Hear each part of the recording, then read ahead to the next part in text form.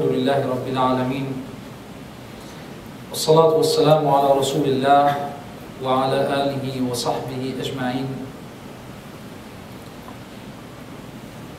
وأفوض أمري إلى الله. إن الله بصير بالعباد. ولا حول ولا قوة إلا بالله العلي العظيم. Dear brothers and sisters, Assalamu alaikum wa rahmatullahi wa barakatuh. Today, inshallah, we're going to talk about one of the topics that is found in the book Al-Risala al-Qushayriya of Imam Abu al-Qasim al-Qushayri, where he talks about zuhd. This word is very familiar and it is a term in many different languages all over the Muslim world. When you translate this word into English, zuhd means renunciation Renunciation. So the Imam goes into details of what we renounce and it also teaches us how to renounce. Whatever we renounce, how we renounce that. So, and the chapter starts with a hadith of our blessed and beloved Prophet Muhammad sallallahu alayhi wa alihi wasallam where he says, إذا رأيت الرجل قد أوتي زهدا في الدنيا ومنطقا فاقترب منه فإنه يلقن الحكمة Which means, if you see a man who has been endowed with renunciation of the world and speech, then draw near to him, for he is infused with wisdom. So again, if you see a person who is staying away from the pleasures of this world, whose interest is not into the pleasures of this world, and also in speech, does not talk a lot, then draw near to this person because this person is infused with wisdom, hikmah. Allah Jalla Jalaluhu make us among those. So, this is a hadith that the chapter starts with. And this hadith is also found in the Kutub al-Sitta, in the six collections of hadith, and uh, narrated also by Ibn Majah. I believe the meaning of this hadith, it is sound. It has a true meaning. Because we have experienced this in our lives when we draw near to these people who are careful with the world, who uh, abstain from the worldly desires, and who do not talk a lot, we always draw uh, wisdom from these people. So it is an experience in our life that proves uh, this hadith to be correct. Um, and then the Imam says that people differ concerning renunciation. When he says differs, does not mean that they, uh, some of them reject this idea and some of them accept it. It doesn't mean that, but it means that they differ in the methods of how to apply the renunciation or zuhud in their lives. So there are mainly two ideas. Number one, it's not good to stay away and not to utilize the blessings uh, by the opportunity that comes ahead of you. This is the first idea. Again, if Allah subhanahu wa ta'ala has given you property, has given you wealth, so take advantage of it. You know, use it in the right way. Take advantage of it. Don't uh, just let it go. Because that is a gift for you to utilize it in the right way. And the other idea of the scholars that Imam al-Qushayri mentions is uh, renunciating the permitted as a virtue. Meaning you're staying away of those things that are permitted to you and that becomes a part of the virtue. You're not too much interested. You let somebody else deal with those things. Now, there are people too who would say, you know what, I like the first idea. They would say, you know, I feel more comfortable you know, utilizing what God has given me, the wealth and so on. And you have other people who say, you know what, I see the wealth uh, as something that stands between me and my Lord. So I do have the power not to be engaged with it. I do have the power to quit that and to be interested in other things that are going to draw me near to Allah subhanahu wa ta'ala. It is an individual choice. But both of these are permissible when dealing with zuhd, with renunciation. And it comes down to uh, the individual choice and what is better for you, what do you feel more comfortable with. The Imam later on goes on and mentions a verse from the Quran where he supports the idea of zuhd. From Surah An-Nisa, where Allah subhanahu wa ta'ala mentioned, قُلْ مَتَاعُ الدُّنْيَا قَلِيلٌ وَالْآخِرَةُ خَيْرٌ لِمَنِ اتَّقَى Say, little is the enjoyment of this world, the hereafter is best for those who fear God. And then the Imam says, they say, they, when he says they, the scholars, they say concerning the meaning of renunciation, of zuhd, each speaks from his own moment, waqt. It is a, it is a Sufi terminology, waqt, the moment.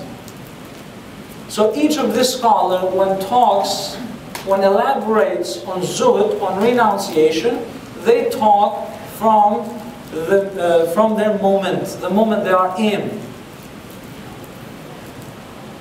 So each speaks from his own moment and indicates his own limit. We find the same thing when interpreting the al-isharat of the Quran, the symbolism in the Quran. They speak from their levels of spirituality because they all do differ in their spiritual levels. And when they give these definitions, they give these definitions according to their spiritual levels. Now, the Imam goes into the sayings of the scholars after mentioning the hadith, after mentioning the verse from the Quran, he goes on into the statements of the scholars who, uh, the statements that they made about zuhd or renunciation. And the first that he mentions is Sufyan al-Thawri, one of the great scholars, Sufyan al-Thawri, who declared renunciation of the world is reduction of hope for worldly gain. Not eating coarse foods or wearing a rough cloak This is a very important statement that he made here. Renunciation of the world is a reduction of hope for worldly gains. Meaning that zuhud is not just dressing up with teared up clothes and eating the worst food that is out there. You're not showing zuhud by doing this. But he says you're showing zuhud you're showing this renunciation by uh, decreasing your wish for worldly gains.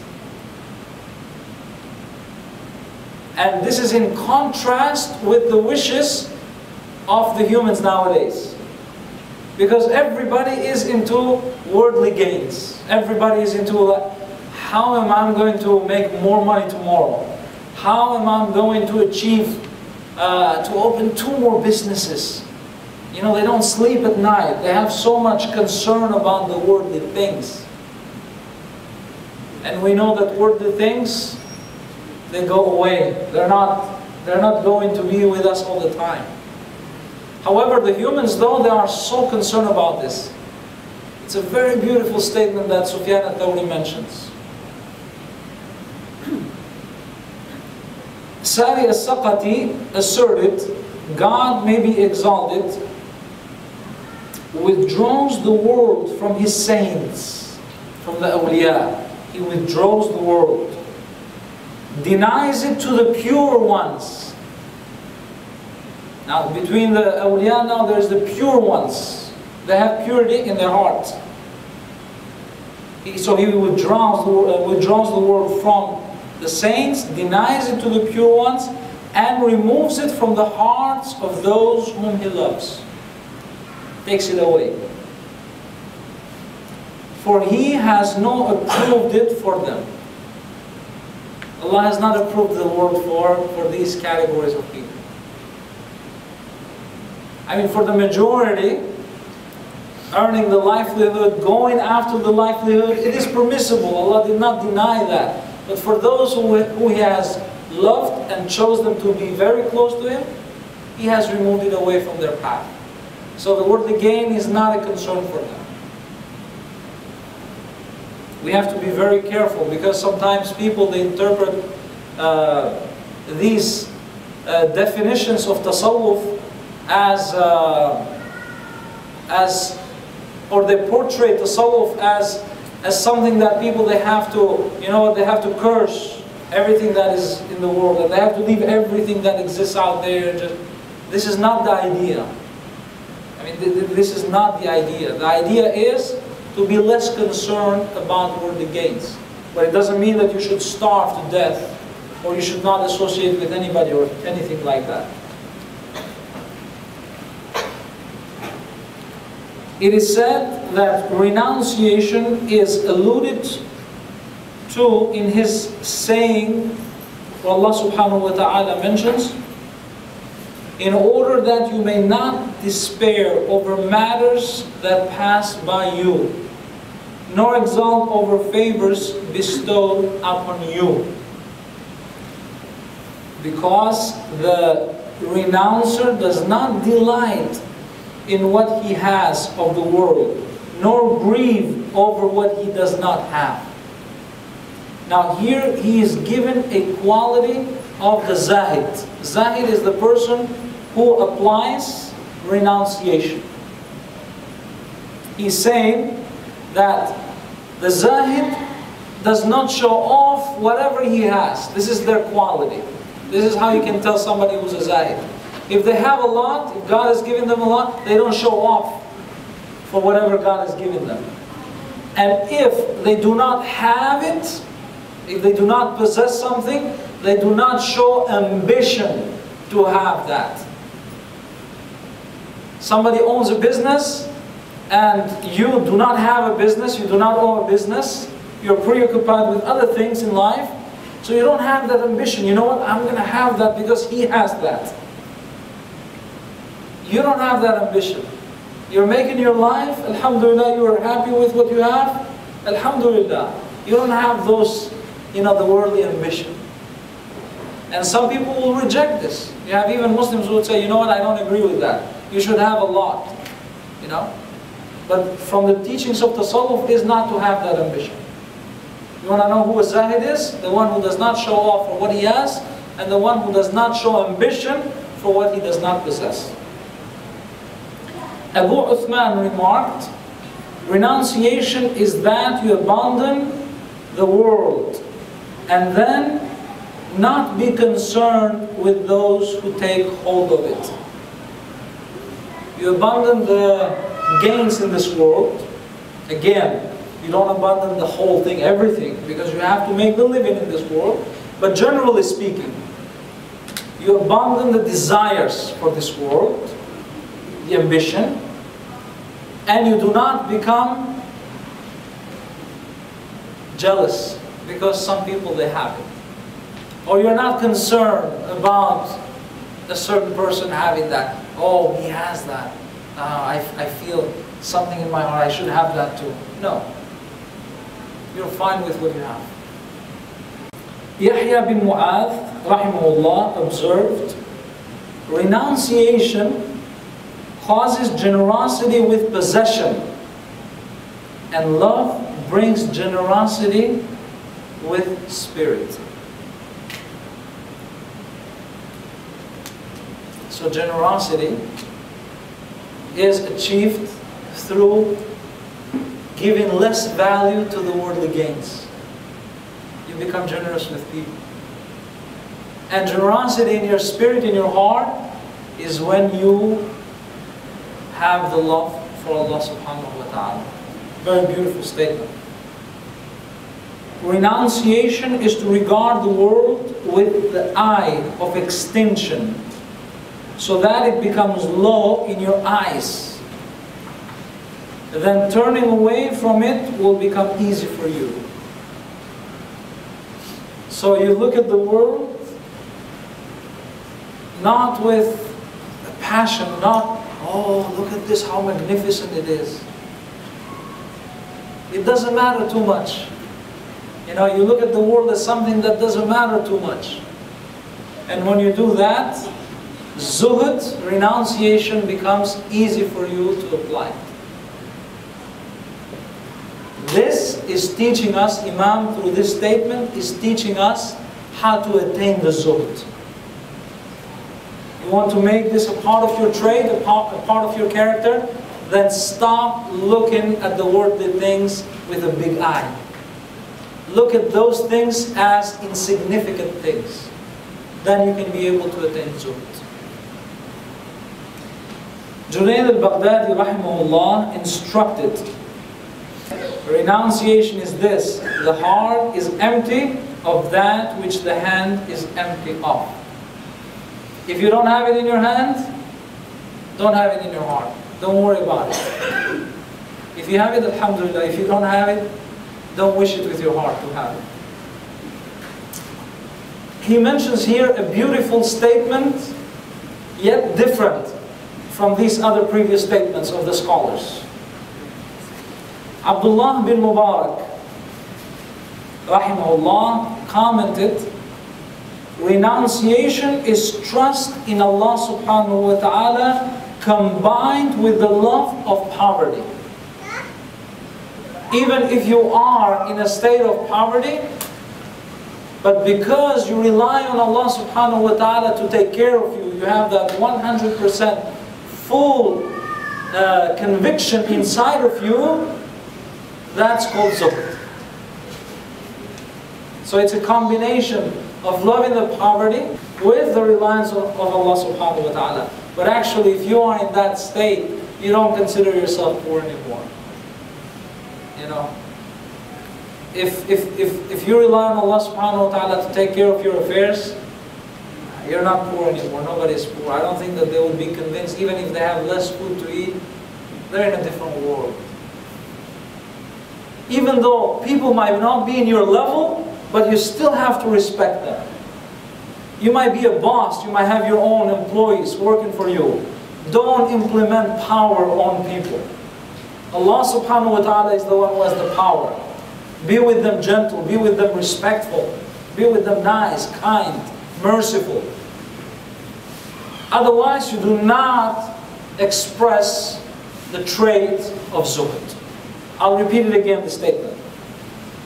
One will not attain true renunciation until he possesses these qualities. Three, action without attachment, speaking without ambition, and glory without having power over man. So you're achieving glory, but without having power over man. Out of love and respect, mutual respect. Beautiful statement. Yahya bin Mu'adh, rahimahullah. Dhun-Nun al-Misri was asked by a man, when may I renounce the world? The answer was given, when you renounce yourself. This is another statement which tells us how to achieve this as well. How to get into this, into zuhud. If you want to get into zuhud, then the first step, he says, is to renounce yourself. Meaning your ego. Meaning your ambitions. If you start working with yourself first, then you can be able to work with the dunya, and you can also be able to work with the people as well. A man asked Yahya bin Mu'adh, when will I enter the tavern of trust, wear the clock of renunciation, the clock of zuhd, and be seated with the ascetics? Be seated with those who are ashab zuhd, people of zuhd. Yahya bin Mu'adh replied, when you come to a point in the ascetic training of your soul in secret. You are training your soul in secret. That if Allah subhanahu wa ta'ala were to cut off your subsist subsistence for three days, you would not weaken in yourself. But when this goal is not attained, then sitting on the carpet with the ascetics is foolishness. Pretending to be an ascetic, pretending to be a spiritual person is foolishness. You're fooling yourself. And I do not guarantee you will not be disgraced among them. It is also declared whoever speaks of renunciation and admonishes people while desiring what they own, God Most High removes the love of the hereafter from his heart. If you're still attached with what the others are gaining, with what the others are achieving, you have that zeal inside of you, that eagerness, that ambition. Oh, he's having this, why I can't? You know, I'm going to have that. Having those passions like that in Islam are considered to be dangerous. Dangerous again for those people who want to get closer to Allah subhanahu wa ta'ala. They cannot get closer to Him unless they denounce. Imam mentions a statement of Ahmad ibn Hanbal, rahimahullah, one of the four uh, imams of the traditional schools of thoughts, the founder of the Hanbali madhab. He explained there are three kinds of renunciation. I love this statement as well. This is a beautiful statement. There are three kinds of renunciation. Number one, forswearing the forbidden in the renunciation of the common people. Staying away what is forbidden. And this belongs to the category of those people uh, who are the common folk. They're just staying away from haram. They're good in that state. This is the first category. Second category, forswearing access in the permitted is the renunciation of the elite. Even though there are a lot of things that are permitted to them to consume or to possess, they decide not to because it becomes an obstacle between them and Allah subhanahu wa ta'ala. So they denounce. But these are the elite. And forswearing whatever diverts the servant from Allah subhanahu wa ta'ala most high is the renunciation of the Gnostics. Of those who have the ma'rifah, the ilm of Allah subhanahu wa ta'ala. Yahya bin Mu'adh observed, and we are getting at the end of this chapter inshallah, we have only a couple more statements. Yahya bin Mu'adh observed, the world is like the unveiled bride. This is a beautiful uh, characterizing that he does to the world. And very interesting. The world is like the unveiled bride. Bride that is unveiled. That's how this dunya, he's talking about the dunya. It is like an unveiled bride. The one who seeks the world, the one who seeks this unveiled bride, becomes the maid of this lady. And the one who renounces its blackness, her faith with soot, tears out her hair and sets her dress on fire. Because he realizes that this is a fake bride. It is something bad. They are able to see the true face of this bride. So they rip off this, this uh, veil. They fight with the dunya. Who are these? These are people who attain zuhud. People who are applying renunciation in their life. And then the third category says, it talks about the Gnostic. The Gnostic is preoccupied with God the Most High, does not even turn his face in her direction. He's not even interested to see what kind of face this bride has because he already knows. Allah subhanahu wa ta'ala already taught him before he even looking at the dunya. It's very beautiful, very beautiful. And the last statement that I'm about to mention today, inshallah, is from Al-Fudayl, great scholar as well, bin Iyad. Fudayl bin Iyad, he related, God placed all evil in one house and made its key love of the world.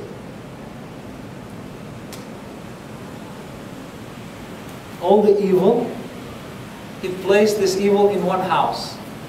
And he made the key to open this door of the house the love for this world. So if you have the love for this world, man, you're in trouble. You, you, you open the door for all the evils to come to you. He placed all goodness in another house and made its key renunciation. He made the key of this house the zuhd. If you want to get inside the world of the blessings, inside the world of whatever benefits your spirit, your heart, and your relation with your God, then open the door of zuhd. Open the door with the key of zuhd, renunciation. I ask Allah to shower with His blessings and His countless reward the spirit of Imam al-Qushayri to make us from those who benefit from his beautiful explanations, to make us also benefit from all of these great scholars and masters uh, that are mentioned through his chapters. And I ask Allah subhanahu wa ta'ala to give us zuhd, to make us from those people who are people of zuhd, renunciation. وآخر دعوانا أن الحمد لله رب العالمين سبحان ربك رب العزة عما يصفون وسلام على المرسلين والحمد لله رب العالمين الفاتحة